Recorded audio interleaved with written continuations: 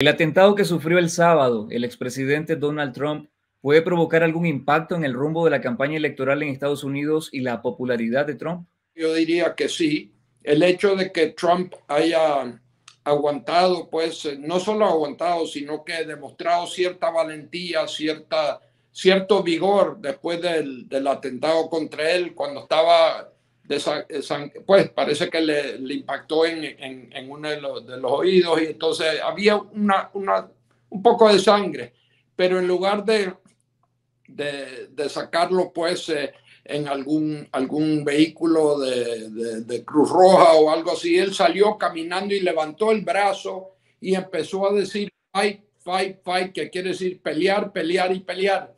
Entonces eso creo que eh, le ayudó mucho a él y eh, le dio unos réditos políticos indiscutibles. Trump en este momento eh, está muy popular en los Estados Unidos, no solo diría yo en el Partido Republicano, sino que en general, y efectivamente pues su comportamiento después de la, del intento de asesinarlo a él es algo que ha ayudado su, a su imagen pero ¿existe algún riesgo de que la violencia en general y la violencia política pueda empañar el proceso político, el proceso electoral? En los Estados Unidos, desgraciadamente, no se puede descartar nada. Eh, eh, son, son muchos los, los funcionarios del gobierno que han sido eh, atacados, en algunos casos hasta con, con, con, con, tiros, pues, y, y varios de ellos asesinados. En el caso de, de, Trump, ah, felizmente pues no pasó mayor cosa, pero se ve en la convención republicana que se está llevando a cabo en, en, Milwaukee ahorita que hay un entusiasmo para él que refleja eh, un poco un reconocimiento de la manera en que él se comportó después de haber sido, de, de haber sufrido ese atentado. Esta convención nacional republicana que finaliza este jueves ha tenido enorme relevancia a partir del atentado que sufrió el expresidente republicano a quien ratificarán como el candidato oficial del partido. Trump ya es el favorito en las elecciones de noviembre. ¿Cómo ve sus posibilidades de ganar? Él ganó prácticamente todas las primarias y por importantes márgenes. O sea que nunca estaba en tela de duda eh, el, liderazgo de, de Trump en el Partido Republicano. Él va a ser el candidato eh, republicano, ya sabemos quién es su, eh, su vicepresidente eh, y él indiscutiblemente es una persona popular entre ciertos grupos de norteamericanos. Según las últimas encuestas, él está en un empate virtual con Joe Biden, pero yo lo que pienso es que hay más entusiasmo para Trump entre los republicanos que lo que hay para Biden entre los demócratas. Y esto yo lo atribuyo al pobre desempeño de Joe Biden en el, en el debate que tuvo con Trump. A esta convención han asistido quienes se consideran los dos principales rivales de Trump dentro del partido, la exgobernadora de Carolina del Sur y ex embajadora ante la ONU, Nikki Haley, y el gobernador de Florida, Ron DeSantis. Trump ya reunió el consenso incluso de los detractores en el partido. Totalmente, ambas personas que vos acabas de mencionar eran entre los que hicieron uso de la palabra y lo que hicieron fue alabar a, Trump y, y, decirle que estaban respaldándolo totalmente. O sea que ya Trump está claramente adueñado del Partido Republicano a como nunca, nunca en el tiempo que yo tengo de seguir la política norteamericana lo ha logrado un político o una política en el pasado. Es decir, eh, Biden en el Partido Demócrata, que es el partido teóricamente mayoritario en los Estados Unidos, no tiene el mismo mando en su partido, la misma popularidad en su partido que lo que tiene Trump en el Partido Republicano. Eh, nunca, nunca en los 50 años que yo tengo o más de estarle dando seguimiento a la política norteamericana, ha habido un líder de un partido que haya tenido el control absoluto del, del, del partido y de, de los, eh, eh, eh, de los delegados y de todos los, los, miembros de ese partido como lo tiene Trump ahorita. Trump se inclinó por el senador de Ohio, James Vance. ¿Quién es este senador en el Partido Republicano que representa para la campaña de Trump? Bueno, en primer lugar yo diría que él es de Ohio, de un estado importante, tiene muchos votos electorales pero era prácticamente desconocido. Eh, para el 99,9% de los norteamericanos, la escogencia de Vance fue algo que fue una sorpresa. Eh, eran mucho más conocidos, por ejemplo, los dos que usaron, hicieron uso de la palabra, o un Marco Rubio de la Florida, por ejemplo, que en su momento se postuló también como candidato para los, eh, los republicanos. Y la Florida es un, un, estado crucial para los Estados Unidos. O sea que para mí el haber escogido a Vance eh, en lugar de Marco Rubio, por ejemplo, es, un, es una sorpresa. Ahora, ¿qué es lo que representa Vance? En primer lugar, es un hombre joven, muy joven. Eh, qué bueno porque tanto el, el, presidente Biden como el expresidente Trump son hombres ya de la tercera edad. Eso por un lado. Por otro lado, eh, el estado de Ohio es crucial. Eh, es uno de los estados que tienen más votos electorales y además eh, es de lo que podríamos llamar eh, tierra adentro en los Estados Unidos.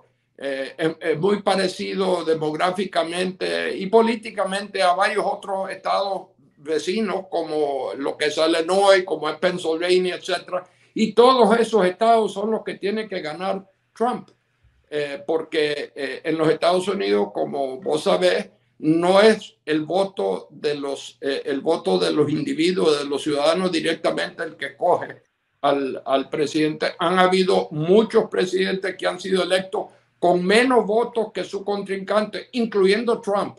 Cuando Trump derrotó a... A Hillary Clinton, ella obtuvo 3 millones de votos más que Trump, pero él ganó estos estados como Ohio que tienen los votos electorales que son los determinantes en el sistema político norteamericano. Vance también ha sido o ha estado en contra del apoyo de Estados Unidos a Ucrania. ¿Puede eso impactar en la política de Trump en relación a Ucrania e Israel? Mira, la política de, de Trump en cuanto a Ucrania es bien curiosa él ha dicho que él puede resolver la situación en Ucrania en una semana. Eh, y él se jacta de que eh, cuando él era presidente manejaba eh, relaciones estrechas con el entonces y el actual presidente de, de, de Rusia, Putin. él también se jacta de tener buenas relaciones con otros líderes de países importantes como Xi de, de la China entonces, él, él, él dijo que él podía resolver el problema de Ucrania en una semana. Curiosamente, un gran admirador de él, que es el, el, primer ministro de Hungría, que ese sí tiene muy buenas relaciones con el Kremlin, ha dicho que no es cierto que Trump la puede resolver la crisis de Ucrania en una semana, pero sí eh, no disputa el hecho de que Trump podría incidir en una salida en el caso de Ucrania por su relación con Putin. Eh, él, eh, varias ocasiones, ha dado a entender pues que él, tiene una relación estrecha con Putin y que él admira a Putin. Entonces yo creo que la relación pues personal entre, entre Putin y, y Trump es mucho mejor que la relación entre Biden y Putin, por ejemplo. Los republicanos han vinculado de nuevo en la convención en Milwaukee la crisis migratoria con la criminalidad que sufre Estados Unidos y se han encargado de atacar el aumento de la inmigración bajo la presidencia de Joe Biden. ¿Qué relevancia tendrá el tema migratorio en esta campaña? Es uno de los dos o tres más importantes eh, y por eso lo están martillando mucho. ¿Cuáles son otros? Pues el estado de la economía, la inflación, las tasas de interés, pero nada afecta tanto a los norteamericanos como la percepción que tienen ellos de que el país está inundándose de ilegales que vienen en su mayoría de Latinoamérica, pero también de otros países. Y Trump ha sido muy, muy beligerante en cuanto al tema de los inmigrantes. Le echa a Biden el muerto del hecho de que están entrando tanta gente, a pesar de que el flujo de ilegales a los Estados Unidos está bajando muchísimo. Pero recordemos que Trump es el hombre que dijo que iba a construir un muro entre los Estados Unidos la frontera pues, del, entre Estados Unidos y México, empezó a construir una parte de eso, pero todavía es muy permeable eh, esa frontera. Pero los norteamericanos perciben de que es más agresivo en cuestiones de inmigración ilegal eh, Trump que Biden. En su campaña, Trump también ha prometido una política de redadas, campos de detención y deportaciones masivas a migrantes. Si Trump gana la presidencia, ¿esa agenda tendrá algún impacto en los programas de migración como el parol humanitario, el TPS o la extensión de asilo político en Estados Unidos para los nicaragüenses? Mira, yo creo que esos tres programas que vos acabas de mencionar son un poco diferentes al, al, tema de la inmigración ilegal a través de la frontera sur.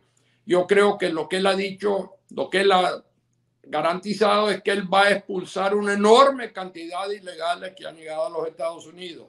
Eh, mucho más de los pocos nicaragüenses relativamente que han entrado a los Estados Unidos con el TPS o con el parol humanitario, etcétera, porque ahí las cifras son muy, muy raquíticas. Eh, lo que él está diciendo es que él va a deportar a 15 millones o no sé cuántos millones de ilegales que están en los Estados Unidos.